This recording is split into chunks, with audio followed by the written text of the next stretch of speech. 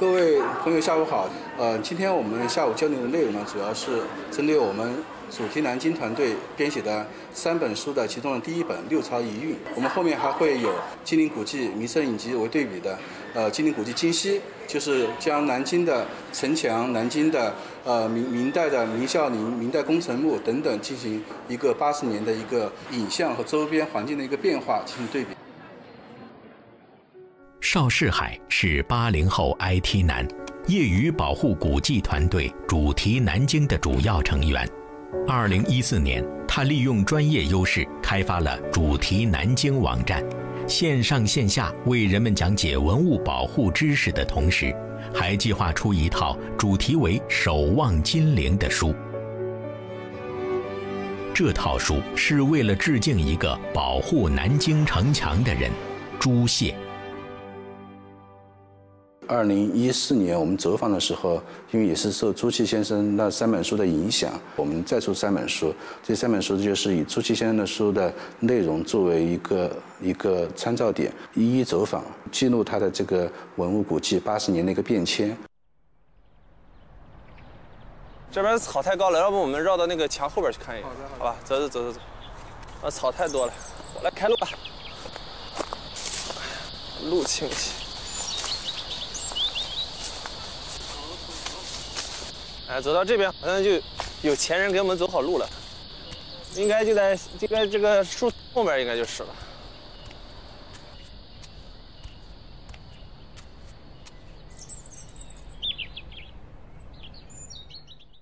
王腾，高大帅气的山东小伙，也是因为读书留在了南京，如今就职于南京城墙保护管理中心，他的工作是研究城墙。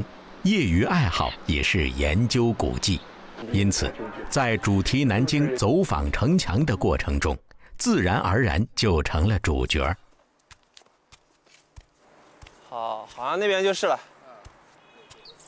啊，我这边这个平台有点像考古工地了。啊，可能就是这边吧。哦，看到墙了。哦，这个拐角很明显了。啊，条石都是摆摆放的。哎这个尖角是吧？对，一般城墙的拐角应该是都是大于或等于九十度的，它这个是个锐角，锐角，所以很有可能就是瓮城的这个角端。只有是这种的船形瓮城才会出现这种尖锐的角。那我们中号门是？中号门是方形的吗？方形。它虽然有一个角是稍微小于九十度的，但是所以说这个通济门是船形的，就是这对对对对，它是两个弧形的嘛，两边，所以说这个地方也是个弧形，箱形的夹角就肯定是小于九十度的。这张照片是从飞机上拍摄的，非常明晰地表现了我们通济门的整体面貌。这张照片弥足珍贵，也是我们后期研究通济门的重要的辅助工具。除了已经消失的独一无二的通济门船形瓮城，南京明城墙还有太多值得探索的奇异之处。中国城墙大部分方方正正、中规中矩，但空中看到的南京城墙形状却相当奇特。有人说像三角形，有人说像粽子、像宝葫芦、像宫扇，还有人认为它的城门布局暗合天象中的南斗和北斗星。最神奇的是。很多人认为它的整体轮廓像明太祖朱元璋的脸。众说纷纭，给古老的南京城墙平添了几分神秘。从天空能够俯瞰朱元璋的脸，站在石头城边又能看到一张奇异的鬼脸。这座历经六百五十多年风霜的雄伟城墙，到底蕴藏着多少不为人知的秘密？当年的鬼脸城依然伫立，而早已逝去的朱元璋，为什么把城墙建成这种形状？他是不是通过城墙给后人留下什么玄机呢？一个都城代表一个国家，那么都城所在的地方的山川形胜这一整块地方代表全国，如果它的城墙只围了这里面的一部分，那就是割据。所以他现在把它整个把它包进来，这个都城就不是一个规整的，它的形式都是完全按照地形地势来的，表示它是一个统一的大帝国的这个都城。南京地处东经一百一十八度，北纬三十度，是个依山傍水、地形复杂的江南城市。南京城墙把周边的小山都圈入其中，既满足其政治上大一统的需求，又满足了军事上占据制高点的要求，因而突破了中国古代北方都城方方正正的格局。样貌独特，蔚为壮观，是十四世纪世界上首屈一指的巨型建筑。一方面呢，它强调作为都城应该所具有的宏大、坚固，啊，它这个要展现都城的气质、都城的地位和威严，啊，以及都城的安全。但是呢，它的地形它是复杂的，它的自然环境也是丰富多彩的。那么在这样一个背景下面，我们既要实现国家都城的这个建设目标，同时又要尊重我们当地的自然的禀赋，所以他就把城墙建得这么弯曲，它更多的体现了人与自然的和谐，更多的展现了我们所谓的天人合一。南京明城墙始建于一三六六年。由于明代南京的四重城垣中，宫城和皇城早已不复存在，用土筑成的外郭，经过六百五十多年风雨，也大多坍塌。今天人们所说的南京明城墙，是指保存最完好的京城城垣。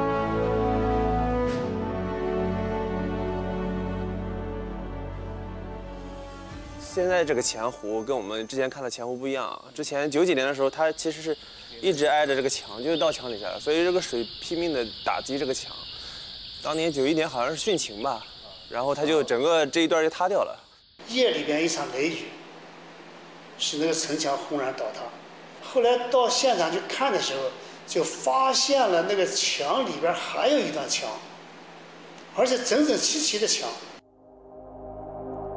高大的城墙内为什么会出现这么一堵小墙？主题南京团队也对这段墙中墙产生了兴趣。在这个史书上有个记载，元朝和在南京城墙、明城墙的中间建了一个新城，建明故宫呃左右的时间就先建了一层城墙，所以说有专家学者推测这个是可能是新城的城墙。后期这国力比较强盛了，觉得这个墙的高度以及它的这个体积。不太符合当时这个整个明代皇都的这个身份。它有大有小。对，有大有小，而且就是薄厚度像是六朝或者是南朝的砖，有的好好像还南唐的砖也有点像。我看到洪武四年了。看到了。对吧？嗯，这好像洪武三年。洪武三年。洪武三年。不是不是那块，不是那块啊。那这个更早了，是吧？可以的啊。那些不同时期的城砖和铭文。把人们带进明初刚刚建国的光景。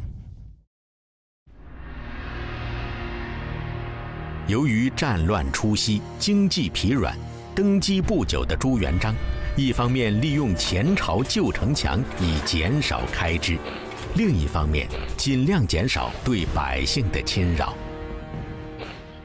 这个墙中墙啊，在整个城墙上边有好多段。南京城墙，它在历代这个城墙的基础上面加宽、加高、加厚，来进行连接起来，圈成这么一个大的城墙。所以很多地方原来的老城墙，比如建建康城，就把它砌在里头去了。直到洪武八年后，政局渐稳，国力慢慢增长，中都霸建。朱元璋才得以集中精力对南京城进行了大规模改造，新建了一大批建筑，并在必要的地方把原有的城墙加高、加厚、加长，于是才有了六百多年后的墙中墙奇景。经过二十多年建造修缮后的京师城墙，才真正是一座宏伟的建筑，称得上高尖甲于海内。它的这个规模大，全长是三十五点二六九公里，这个长度啊，是在世界上是第一位的。它的高度那更没办法比拟了，它最低的也有十一二米这么高。最高处是二十六米，最宽处是十九点八米。像这样的城墙，你也是在世界上来说都是非常震撼人的。主题南京的另一个成员刘小平是地地道道的南京人，资深古迹爱好者，家里巨量的藏书中有很多是关于军事的。城墙这个庞大的军事防御工程是他常去的地方。这个闸槽还是挺挺完整的。它本来闸槽的两边应该是每每边各有一对这个角关石的嘛，中间插一根木棒，木棒上有这个我们说的像往上悬吊的这个设置工具嘛，所以就可以把这个整个的闸门提起来。只有当这个战争的时候才会用。对，控制按钮的这个槽拉掉，它可以滑下去也可以。直接把绳子剪断也可以，所以就是直接掉。对，直接掉下去，因为它从那个下边的城门可以看到，它两边也是有槽的，所以它直接掉下去的话，它不会左右翻滚或者是前后的侧移。南京城的十三座城门都设有木质包铁的双飞门，还配有上下起闭的千斤闸，相当于防盗门。六百多年前的南京，白天人来车往，热闹非凡。一到晚上七点，立刻关闭城门，第二天凌晨五点再次开启。为了加强防御，明朝政府设置了十三个千户所，各有士兵一千二百人，分别把守十三座城门。朝廷甚至设有一种点闸制度。专门管理城门关闭。所谓点闸制度是什么？是城门的守军以及相关人员，按照当时的制度规定，定时的什么开闭城门，有专门的机构巡视抽查，你你这个城门管理员是不是按照规定在规定的时间把城门关闭？啊，这个制度在明初是非常严格的。南京城墙南端的聚宝门。是明代南京城最繁华、最重要的城门之一。早在两千五百年前，春秋末期，越国大夫范蠡来到秦淮河畔，筑下一座越城，从此，这片叫长干里的地带就成了南京最繁华的地方。当时的城门叫南门。据史料记载，门内是闹市，门外是寺庙，长干雄镇于四方，宝塔耸插于云外。每到春天，乡宦贵族、仕女佳人纷纷到城外踏青。由于来往的人络绎不绝，南门极其繁忙，城门通道狭小，乡间柴米牲畜由此入城，不易通过。常常排了很长的队伍，甚至到了晚上宵禁以后，依然热闹不减。城墙有个问题，晚上得关门的，所以大部分的夜生活都在城门口外，所以外城呢就变成很热闹的，大部分都在南门口。南门的繁华持续了一千多年。唐朝时，大诗人李白游历金陵。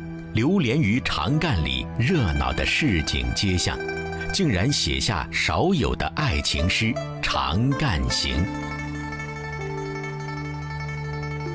妾发初覆额，折花门前剧。郎骑竹马来，绕床弄青梅。同居长干里，两小无嫌猜。十四为君妇，羞颜未尝开。这个爱情故事背后是南京的商业背景。你看这小两口结婚不久，对吧？这个丈夫就必须出去做生意，然后妻子虽然舍不得，但是又非常的理解。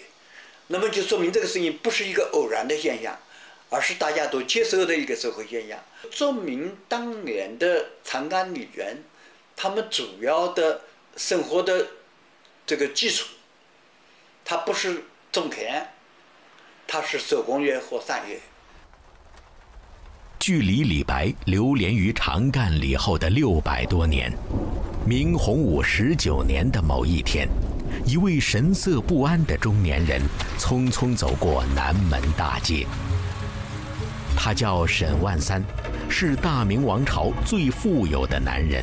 此刻，他正诚惶诚恐地向皇宫走去，心中忐忑不安。小时候就听老人家说过这么一个传说：当年朱元璋为了扩建南门，屡建屡塌，最后派刘季出去找原因。刘季听到了这么一个童谣：“金陵城，金陵城，金陵有个聚宝盆。找到聚宝盆，再找戴鼎城，戴鼎城头顶聚宝盆，埋在城墙根，城墙笃定建得成。”沈万三是苏州商人，坊间传说他家有个聚宝盆，一块金子放进去，第二天会变出满满一盆金子。所以家财多得数不清。沈万三听到皇帝开口借聚宝盆，自然是万死不敢辞。他斗胆问了一句：“什么时候还？”朱元璋随口回答：“明日五更。”聚宝盆放入地基，门果然建成了，称为聚宝门。不过。埋在地下的聚宝盆，自然是不可能完璧归赵了。后来朱元璋，他去命令下面的打更的人，说南京只打四更，不能打五更，就门得五更了就可以不还了，把工具全部拆掉，就就不叫了，不叫吃什么呢？就开始吃鸭子了。这个民间传说给气势宏伟的聚宝门增添了神秘色彩。其实。聚宝门的真正得名，并非因为聚宝盆，而是因为它南临聚宝山。一九二八年更名为中华门，一直沿用至今。据说，沈万三还响应朱元璋号召，捐建了南京城墙的城南一段，墙身用石块砌成，十分坚固雄伟。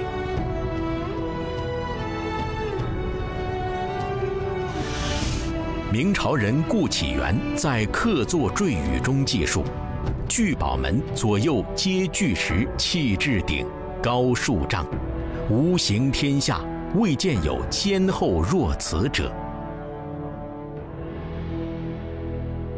城墙建成后，朱元璋十分高兴，赞沈万三为白衣天子，在玄武湖边赐给他一座后花园，还设宴招待他。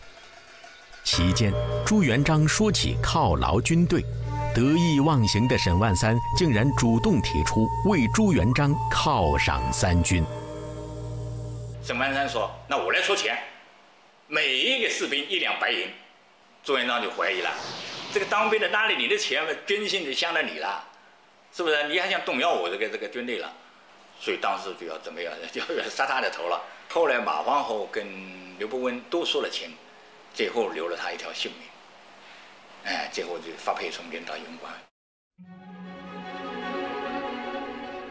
沈万三的传说并没有记载于正史，学术界对沈万三的原型是谁也各有说法，但他所代表的江南财阀对南京城墙的修筑做出巨大贡献，这是毋庸置疑的。他有没有参与南京城的建设是一个疑问，但是沈万三这个子孙一定是参加南京城的建设。同时，沈万三也是整个江南地区富户形象的一个代表。很多事实尽管不一定是沈万三的，但是在江南富户上一定是发生过。费时二十多年，动用百万人夫修建的巨大城墙，围起一座方圆四十多平方千米、堪称中世纪最宏伟的东方都市，其繁华程度令人惊叹。当时的南京城人口多达百万，手工业十分发达，教育文化欣欣向荣。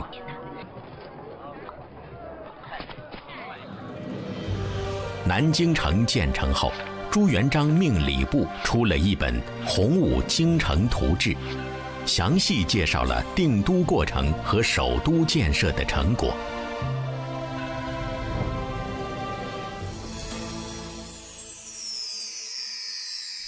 明朝中期，有一个署名为仇英的人，画了一幅南都繁会图卷，被称为明朝的《清明上河图》，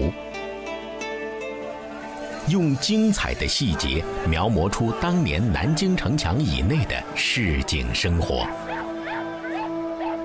城墙所圈起的城市，形成了各种礼仪和秩序。成为中国文化的重要组成部分，世世代代的传承下来，影响十分深远。我们看城墙，不能看成只是一个线，它的城门，它连通着内外的道路，它的整个建筑的形态，包含着人与自然的关系的建构，它的整个的都城的这个空间的布局，展现了当时的国家政治中心的。功能的安排，以及来以这座都城为中心治理整个国家的中央的各种各样的制度性安排，这个在城墙的各种要素中间都可以获得解释。二十世纪，随着工业时代的到来，交通飞速发展，人口急剧增加，工业革命的浪潮冲击着以城墙为标志的所有中国城市。城墙与城市不再是往日相依相生的关系，冲破城墙的樊篱已经成为现代城市向外扩展的需要，也由此引发了经济发展与传统文化的激烈交锋。焦点就是千百年来一直被视为城市标志的城墙，因为城墙是保卫自己的。可是也会把自己跟外面人隔开。到近代有汽车就是不方便，通常最早的办法就在城门旁边开几个口，后来就觉得不好，都拆城墙。所以民国以来，一直到解放以后，各地方拆城墙。一九二九年，蒋介石以国民政府名义下令，南京市政府拆除自太平门至神策门一带的城墙。并将拆卸的城砖用于修建学校。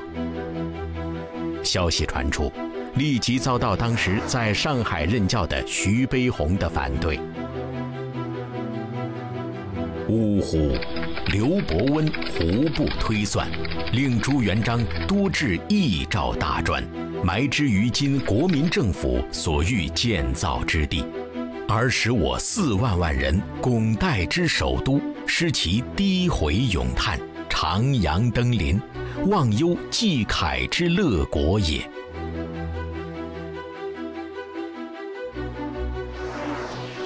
徐悲鸿的呼吁引发市民强烈共鸣，由于反对的声音十分激烈，拆墙命令最终作罢。当时。留学德国的朱燮刚刚回国不久，出任国立中央大学经济系教授，正值国民政府实施首都计划，城市改造中，大量古迹被拆。朱燮利用业余时间，背着相机四处寻访拍摄，出版了《金陵古迹图考》等三本图文并茂的书。留下了当时南京城市和古迹的珍贵影像资料。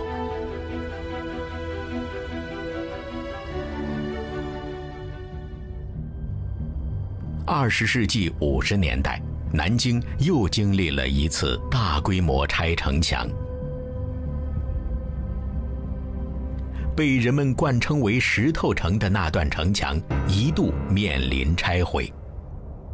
虽然考古学家们发现历史上的石头城原址并不在此，但人们依然习惯于把这里称为石头城，视为南京的起点和母城。无论在历史上还是人们心目中，这段城墙的地位都非同寻常。为了重温朱燮先生的足迹，主题南京三人小组来到石头城。这里是朱燮先生奔走呼号、保护下来的地方。你刚才提到那个朱先生啊，跟我们这个南京的文物啊，包括城墙啊，包括还有很多的我们文物保护啊，都还蛮有关系的。对，其实我们知道他在三十年代的这些文物走访，为我们当时南京的文物也做了很大的贡献。啊，其实我觉得他还是个代表，是知识分子一个代表。当时朱熹是任江苏省的文化局副局长。是的，是。看资料是五四年就开始。进行一些城墙的一拆除，但是那些拆除呢，还是仅限于这种小规模的。五五年到五六年就进行大规模的一个拆除。朱燮在《新华日报》上发表了“南京市建设部门不应该任意拆除城墙”一文，许多市民看后纷纷给新华日报社写信，要求保留古迹，立即停止拆城。